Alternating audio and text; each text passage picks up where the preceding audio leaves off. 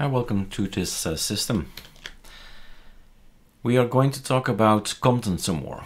A few days back we had a major update for Compton. So if you do if you do now an installation of Compton, which is the one that's going to um, manage your windows, make it fading, uh, shading, and fading, shading, and transparency. So those three elements can be changed. And that's why this conky in here is um, all transparent. That's why a termite is transparent. Because if we kill um, Compton, you'll see that everything becomes black. So no transparency anymore. The point of the video is to give you an overview of Compton and also to tell you that we have um, different desktops. We have five desktops that use Compton, five out of 12. So it does influence us. Maybe you don't even like Compton, so you do sudo pacman minus r Compton. It's gone. No transparency, no shading, no fading. Fine. Well, what if you do like it?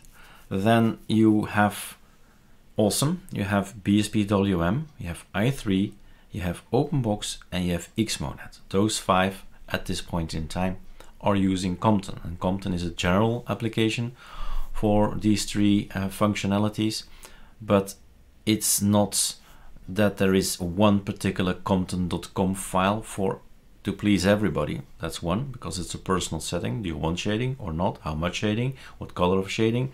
Etc. But also of hardware. So there are settings in there that quite technical. And um, if everything works for you, great. Otherwise, you have to go and look for uh, solutions on the net because it's all um, well, dependent on the hardware, you have the graphical driver you've bought and uh, what settings you need to, to apply to it. So let's have a look at Compton.conf file and depending on the desktop you're on, you go to a particular kind of uh, place. Xmonad has the .xmonad folder and in there is Compton and I can show you the i3, i3 folder in .config, we have an i3 folder and we have here the Compton.conf. In BSPWM the same and, and so on. But we're on OpenBox, so OpenBox you would say it's going in here, but it's not, it's going in .config Compton.conf. And then you say, Erik, how do I even know that? Well, basically you have here this Pamac, which is a great tool. You go to the repositories of Arch Linux repo scroll down and everything starts with Arch Linux, but then look for OpenBox. And we have OpenBox themes and so on. So that's not what you need, don't need this. And here it already ends. So it's it's in here. And if you click up here and then go for files, you see that the, the, the Compton.conf is installed in etc of course. Remember the, the idea that whatever you put in etc and you make an ISO, it's going to be in your home directory. That's why it's there. So basically after a new update, if you do update in your terminal, you get the updates there in etc and that's why we skel and skel is a copy paste of everything that's in here to your home directory. So the Compton.conf is to be found in your home directory .config. That's how you analyze. Uh, so you see I have all the bookmarks I need. So we're going to .config, and take a look. First of all, you need to be able to work. This is not interesting to work on. You choose down here, plain text, Perl. You can do the same thing in Atom and it will be also, well, uh, nice to look at in the sense that the coloring works. And if you forget to type this little sign here, then everything becomes orange, uh, yellow. So you say, oh, whoa, I did something wrong. Control Z, awesome shortcut. So that's the first thing you do. Put it to Perl. The same in Atom, put it to Perl. Three blocks, shadow block, scroll through, opacity block, so scroll through, and fading block, okay? So these are the personal settings. This is not difficult. Shadow, true, false. Done. The other thing you need to do is opacity. Well, opacity is always on, except if it's inactive. So if you want to have the inactive, so if two screens open, One is focused, the other one is inactive. If you want to make it opaque, so opacity, increase the opacity of that one 0.9. And there you go. This inactive window is now see-through. So you see the wallpaper.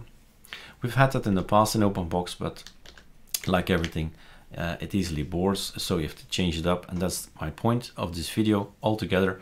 Make Compton Conf your personal thing. There are probably as many Compton Conf settings as there are uh, persons in the world. I mean, it's really a personal thing. And the only thing you need to do, of course, before you try anything out, copy paste. But basically, you do know there is a copy already in etc waiting for you. If you do a skel again, everything is overwritten again. So there is always a backup in etc but make one in your home directory anyway. So uh, fading, fading can be set to true as well. And you can change the deltas, but I think these are sound values, even if they say default is 30. I think this could be a better number. GLX and Xrender is the main main message to everybody out there. And now it gets difficult. I mean, difficult in the sense that we're no longer in the personal kind of choices. Shading, yes, fading, no, yes, and, and opacity, yes or no. Now we are at the graphical part, the graphical hardware part. Do you want to use Xrender as backend or you want to use GLX as backend? And that's become it becomes technical and even for me I say, whoa, too much uh, information there. The thing is, if you are having problems with your uh, rendering, well, first option is of course get rid of Compton. Second option is keep trying and say, okay, what if, and that's the trial and error thing that you need to do, what if I change my VSync to this one, as we we have had we have had this one uh, prior, so it worked fine. None works fine too. I mean, you have just to try it out and read and ask people because I have this kind of uh, hard um, graphical hard graphical card. Yes, graphical card. Look it up, Google it, content behind it, and see what people say about the settings. Find other settings of Compton.conf. So all the information here. Where would I go if I wanted to find out more about Compton? Okay, we go to Arch Wiki Compton. That's always the first step. Go to the ArchWiki. There is a ton of information here. This is like going to the university and read and read and read. Lots of information here and there might be something in here for you that say, oh, that's it. Another place to go is um, the AUR. Uh, sorry, um, yes, let's go to the Arch Compton. So you've seen my video about the new Compton 4.0 went to 5.0. It's all explained, all the changes there.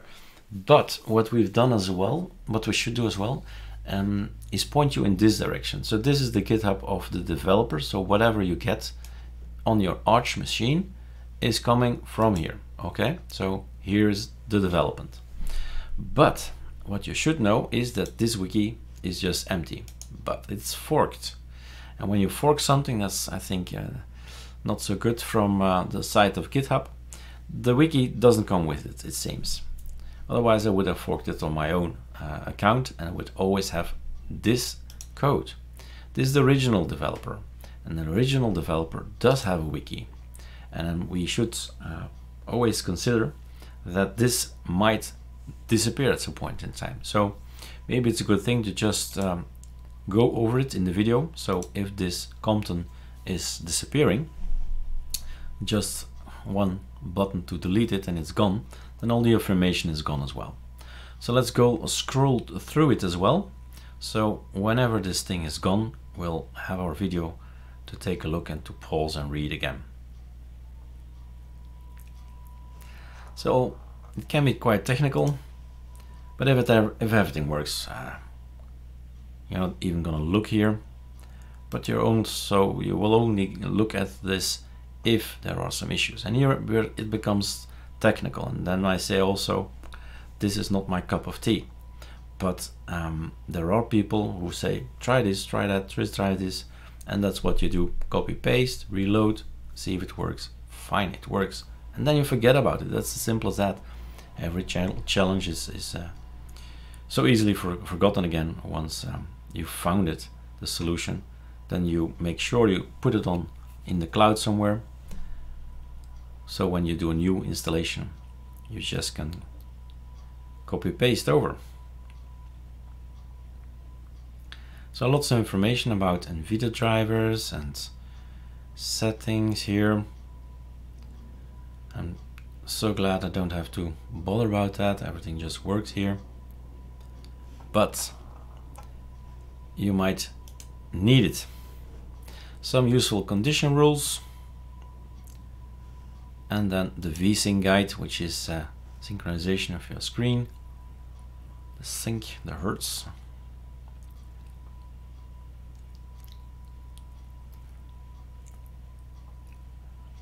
Lots of choices so now we've done uh, I guess we've done none. But there is DRM OpenGLM stuff you can choose and see if that works better for you.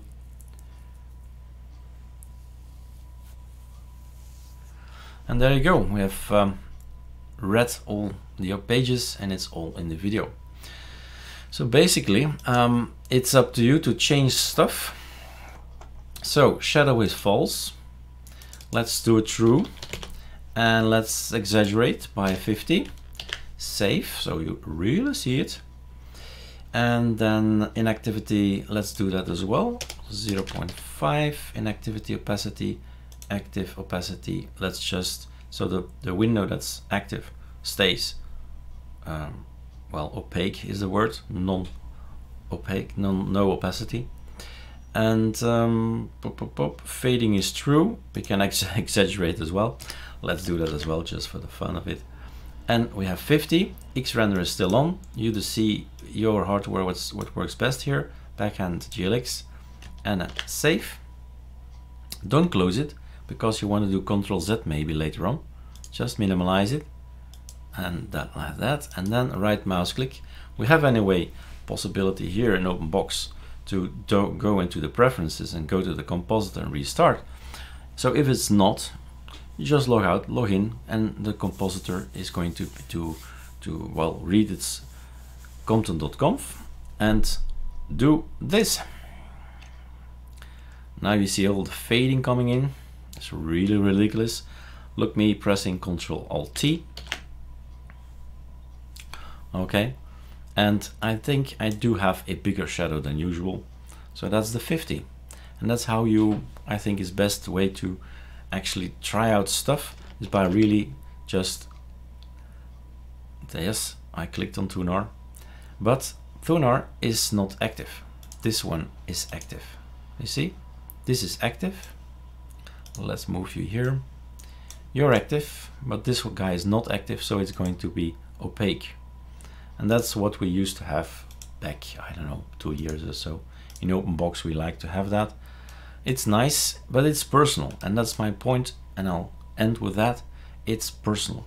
Compton.conf is something personal. There are many as many choices uh, for varieties out there as there are persons. You set them the way you want them and um, it's all in the Compton.conf you know now how to search for it and we have five desktops to set it the way you like it. We'll change it the way we feel see fit. Like for instance, um, we've changed already something, and that's in the window tiling window, win, the tiling window managers. We have set the the shadow to none, so no shadow for um, i3. Let's start alphabetically. Awesome, BSPWM, i3, and Xmonad. An OpenBox isn't an exception, so there the shadow is still active. All right, have fun uh, using Compton, make backups, try stuff out, and um, even trouble, go and look on the websites to find some more information. Cheers.